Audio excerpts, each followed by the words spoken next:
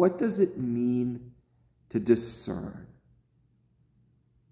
You know, it's one of those words that is often understood or feels very churchy, right?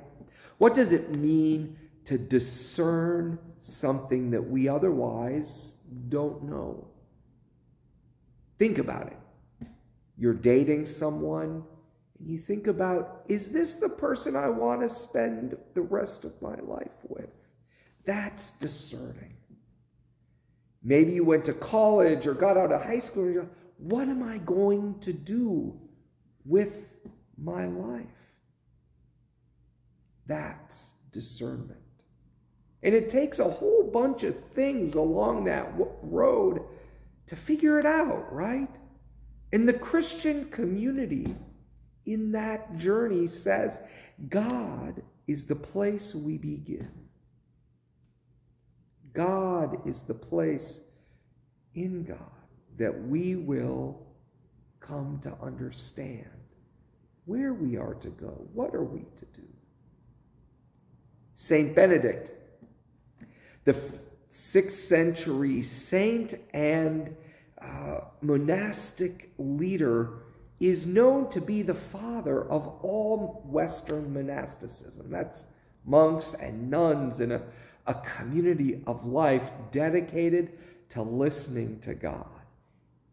They all, that is, all monastics, monks and nuns, in community and individually, listen to a rule of life. And that rule of life for St. Benedict, off of which everybody else, everything else uh, derives, is to first listen.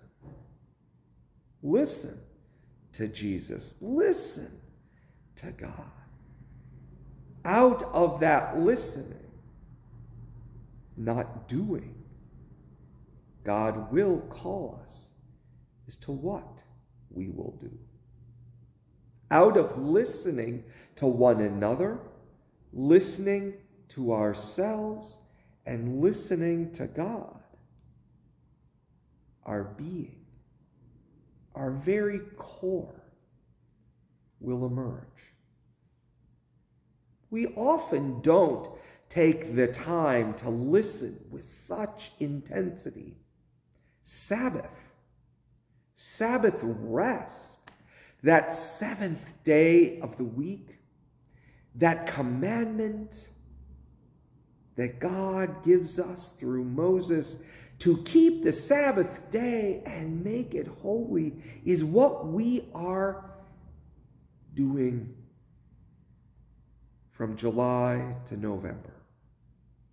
I will be doing it myself on sabbatical. And St. John's, all of you will be doing it together here in this sacred space, in conversation, in prayer, and in calm. Listen, my friends.